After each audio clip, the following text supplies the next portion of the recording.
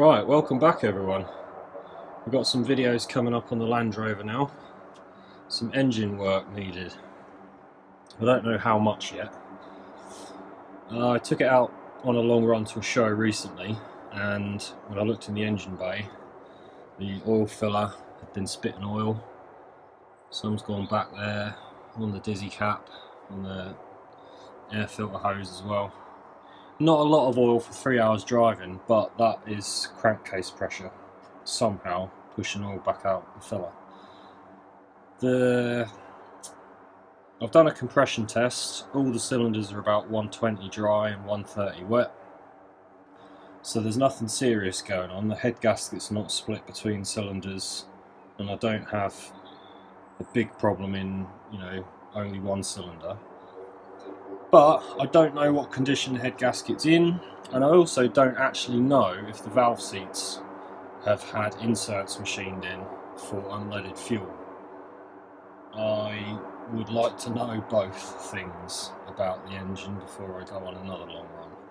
So I'm going to take the head off, I'm going to do the head gasket, I'm going to have a look at the valves and anything else in the top, have a look at the pistons and the bores and decide on an actual plan of what I want to do as I get into it and see what the condition of things are.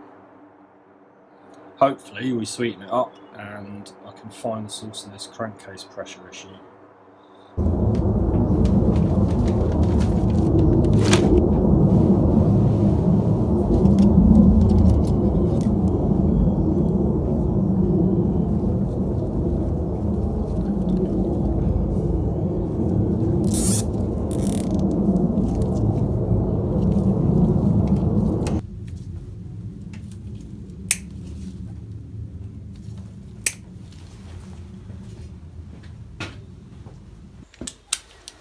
I've never had rocker gear out, but if I understand correctly, clipping them up is going to stop it all springing apart.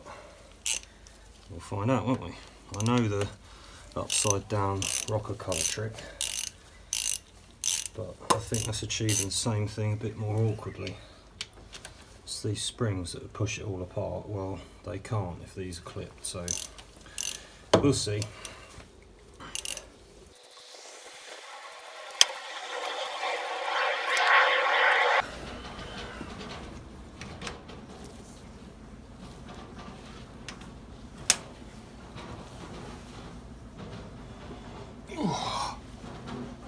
Oh dear.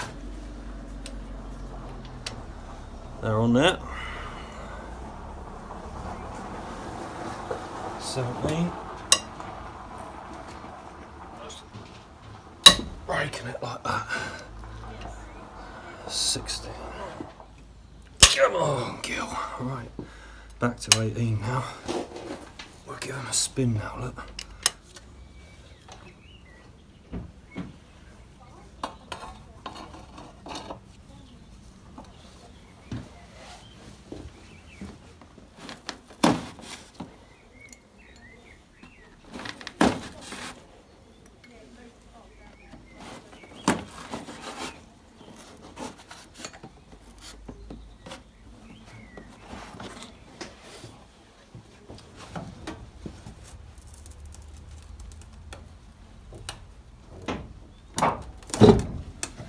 budged.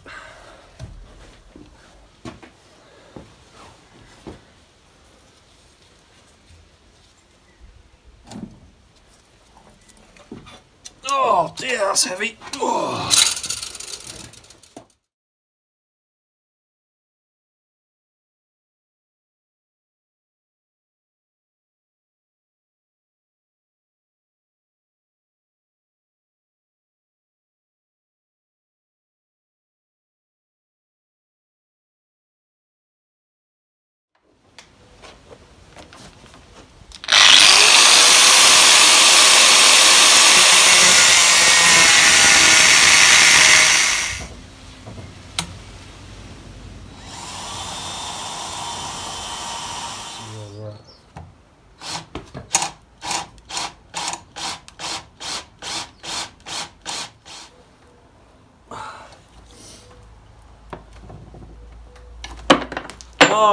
I got some out. I got some out. Not the result we were looking for though, eh? Oh well. Right, that manifold's got to come off then.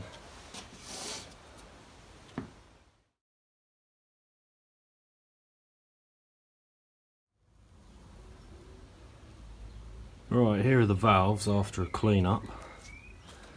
Very difficult to get absolutely spot on. These are old valves. The exhaust valves have a step near the bottom and they are stamped Rover, uh, part number. The inlet valves are not. I don't know if that means the inlet valves have been replaced at some point or if these are all original. Now, the question is whether we can lap them sufficiently.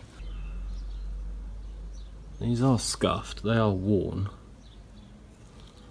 but when they're in the guides,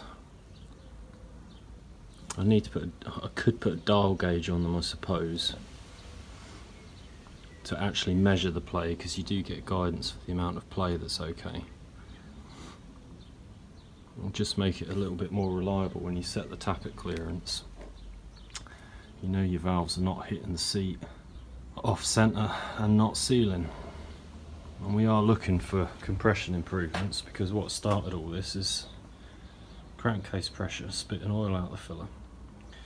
So I'm undecided but I'm going to try lapping the worst example and see how that goes and if it seems realistic then I'll think about the head. I also need to check the surface of the head against a straight edge and some feeler gauges.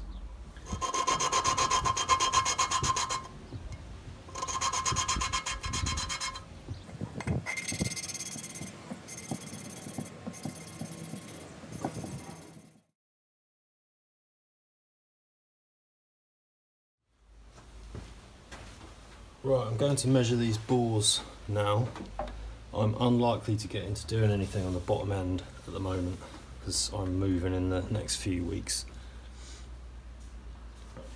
These pistons, the X stamped marks the front of the vehicle for when reinserting pistons. The thrust axis is across here. Um, that's the axis of the conrods. Okay, so the thrust is against the near side and off side walls of the cylinder wears more in that direction so it matters um, front of the vehicle. Also I've got cylinders numbers 1 2 3 4 stamped on here. I've also got B stamped on cylinder 1 piston 1 A on piston 2 A on piston 3 and A on piston 4 now A and B signify different sizings, very minimal.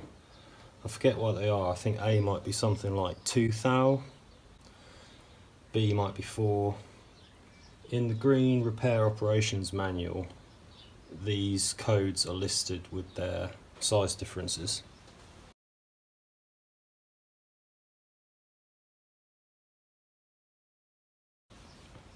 In the Series 2 parts manual, the pistons are described are listed by different part numbers and they're called grade A, grade B, grade C and so on. The pistons are selectively assembled to a block and chosen to a cylinder where they best fit. Now I don't know whether they would actually check them by hand or or what but I understand it's related to selective assembly and even if you ordered all new pistons of the same size and had a rebore then when assembling the engine you would still hand fit each piston to each cylinder and see pick which cylinder it seemed to fit best. Where there was least resistance and there was a fit where there was no sticking point at any point in the bore for that piston so there is some selective assembly involved. I think that's what the A's and B's are. Let me know if you know any different or you've just got more information about how that works. I'd be interested to know more. I don't think it's a case that, you know, at some point over the vehicle's life, one cylinder has been losing compression faster than another, and then someone's come in and they fit a grade A tooth thou oversized piston to account for wear and things. But that might be the case. Let me know if you know that that's something that, that happened, or if it's to do with selective assembly. Anyway, I'm mostly doing a top end refresh at the moment.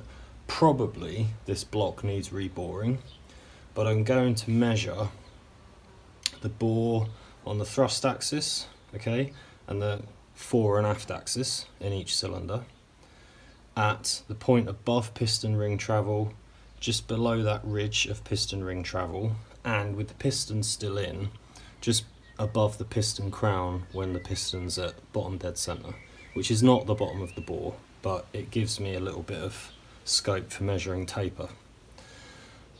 I'll also measure ovality and then I know at what mileage and when I did that head refresh what all of my measurements were.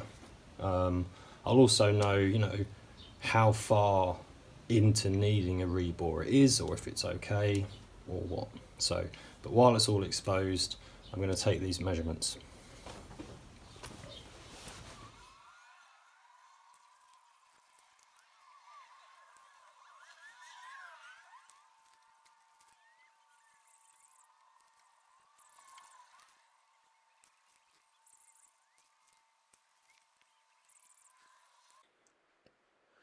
The results are not too shabby.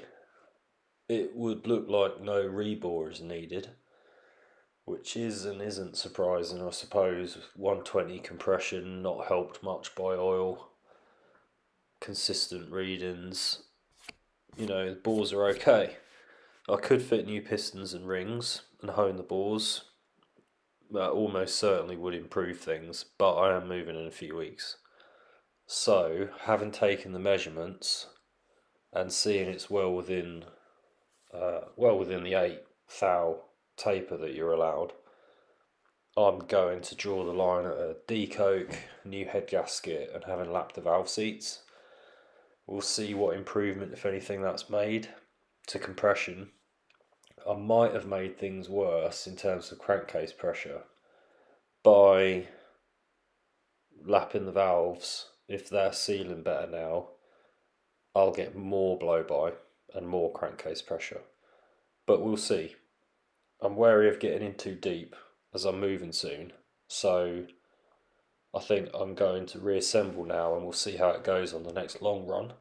I'm also cleaning out that rocker breather properly. Now, that might have been blocked. That might have been causing some of that crankcase pressure. I might, you know, I don't want to get into a lot of engine work when actually behind the original problem is something quite simple. So I'm going to tread careful. So we'll, call it a decoke, head gasket, and lap the valves this time. In the next video, we'll put it back together and do a compression test, and then I'll update you all when I've been on another long run to see if she's still spitting oil or not. Alright, see you soon.